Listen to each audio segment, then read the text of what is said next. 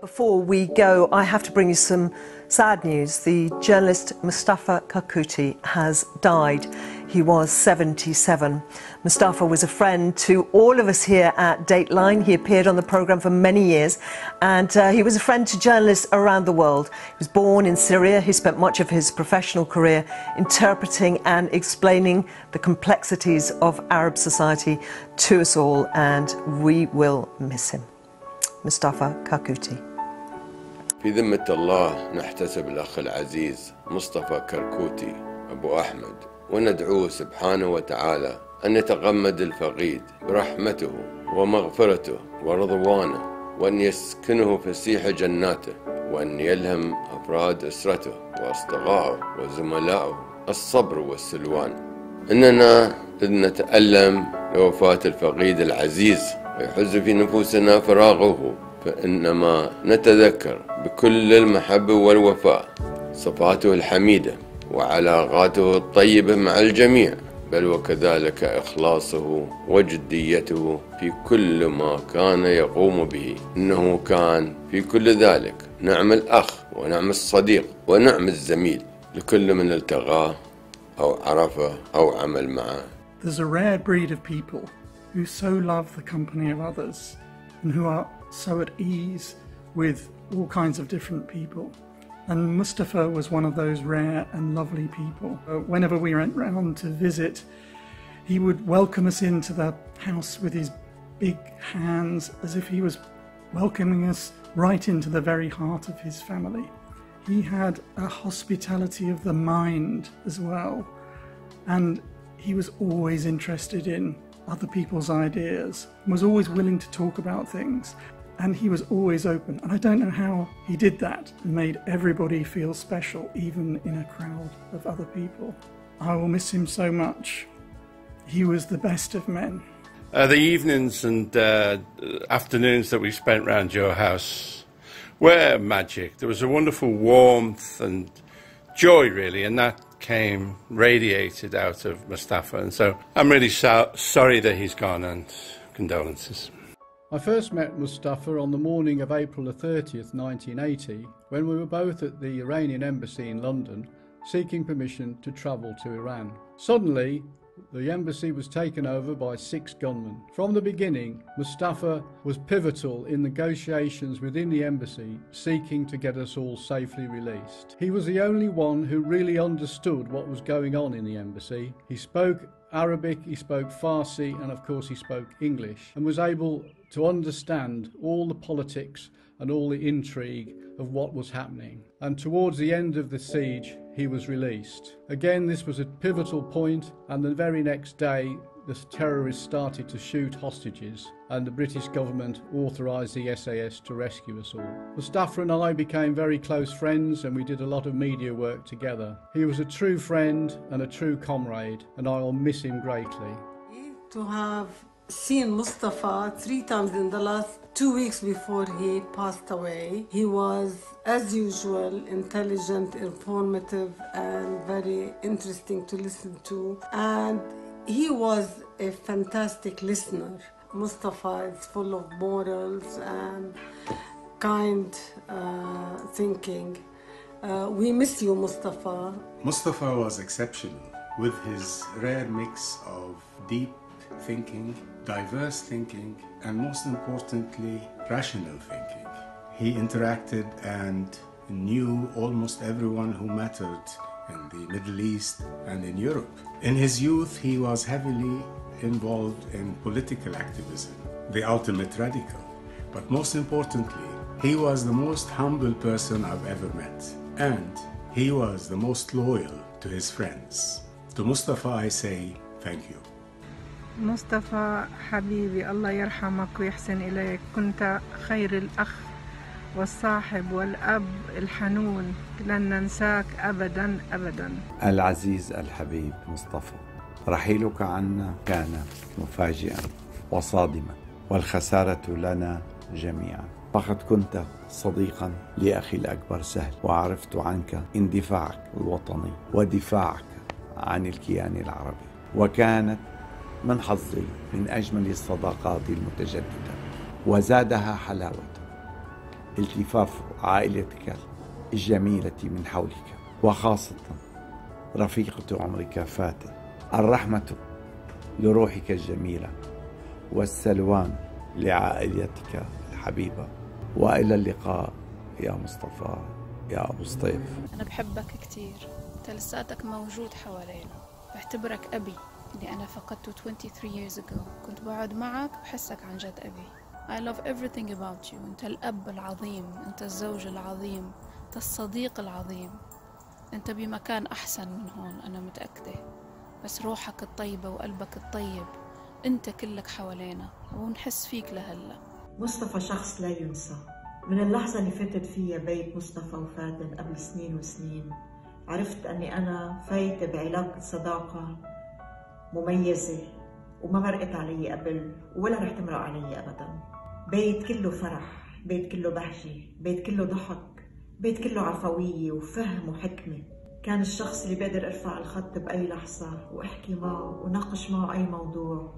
مصطفى كلماتك ما رح ننساها. وأنت عايش بقلبنا.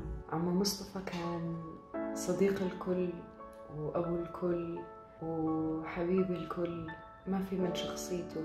ولا في من طيبة قلبه بيته دائما مليان فرح وسعادة. رح نشتاق له كتير ودائما ببالنا. مصطفى الذي كانت مودته كالكوثر العذب لا يختالها الكدر. صافي السريرة محض الود لا ملق في لفظه لا ولا في قلبه وضر. الله يرحمك. I'm Mustafa. From the moment I met you as a child, you brought magic to my life. I never really asked myself why I loved you so much, I just did. But now I know. It was the way you beheld, respected, and loved me just as I was. So many of us bloomed under the light of your gaze. This is how your gentle soul met the world and how I will always love you. Uh, I don't think any words are going to be ever enough to describe my feelings for you. All my life, uh, the little girl, not to sound dramatic, I repeat this every time. You told me I was beautiful. You told me I could dream. You told me the sky's the limit. All of these things over and over again. The summers in London were the best years of our lives. Growing up, it was the only family unit that we had, really. And you opened up your heart, your home, your love, and treated us like your own. And that's a gift you gave to me, and I'm forever grateful for it. I love you so much. We were in a pub in Harefield back in the early 1990s when suddenly Khalil got up and realized he's late for a barbecue at the Karkoutis. He persuaded us to take them there and join them. Just before we got in the house, he said it will be fun. It was. It was also the start of a wonderful friendship. Fatin and Mustafa entered my life.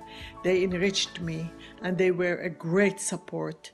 As to Mustafa, he was the solid rock for all of us support and kindness and understanding. تعجز الكلمات عن وصف رحيلك عنا جسدا على الأقل لكنها روحك الطيبة ودماثة أخلاقك وسعة معرفتك وخفة دمك ورجاحة عقلك كلها هذه ستبقى معنا وهي باقية معنا إلى أن نلتقي مجددا.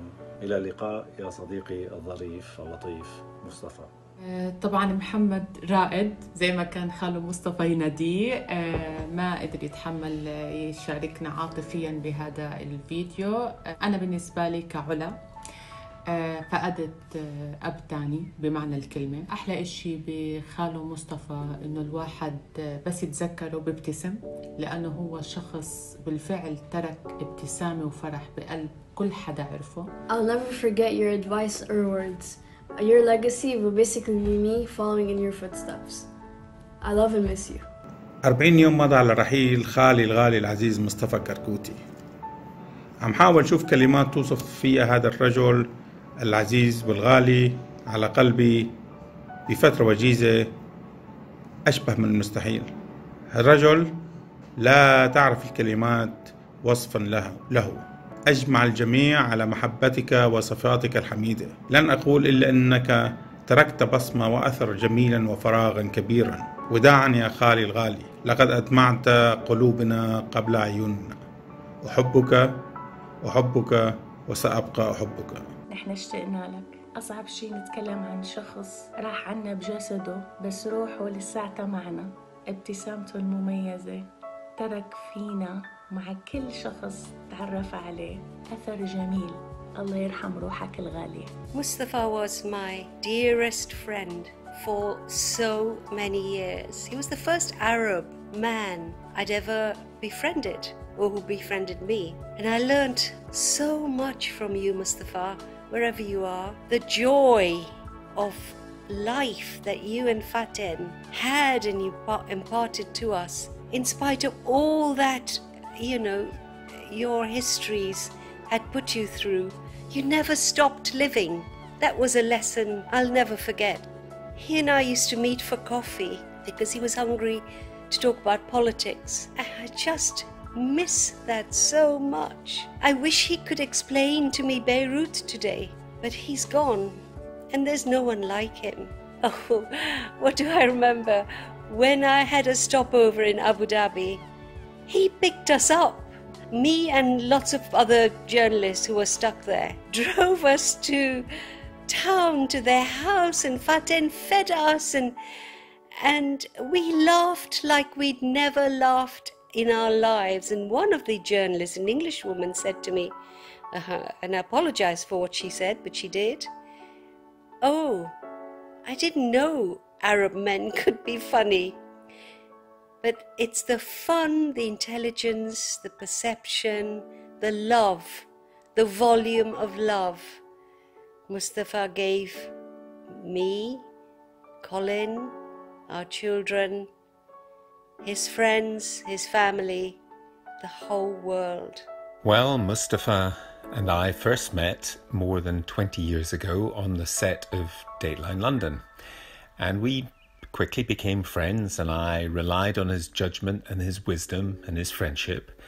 And then a few years later, he invited me to Dubai and Abu Dhabi to take part in a conference. And during that conference, he came to me and said, Could I delay my flight by a day? Because Sheikh Nahyan would like me to chair an extra session, including Sheikh Nahyan himself. No, I said, Mustafa, there's absolutely no way I can do that. He persuaded me after I'd said, And anyway, how could we change our flights? He put his arm round me and said, Sheikh Nahyan owns Etihad Airlines. And so, Mustafa, you managed to get me on a flight a day afterwards, and I managed to sit next to a woman who is now my wife. So I owe you more than I can say, and I miss you more than I can say too. Thank you, Mustafa, for everything you've done. Thank you.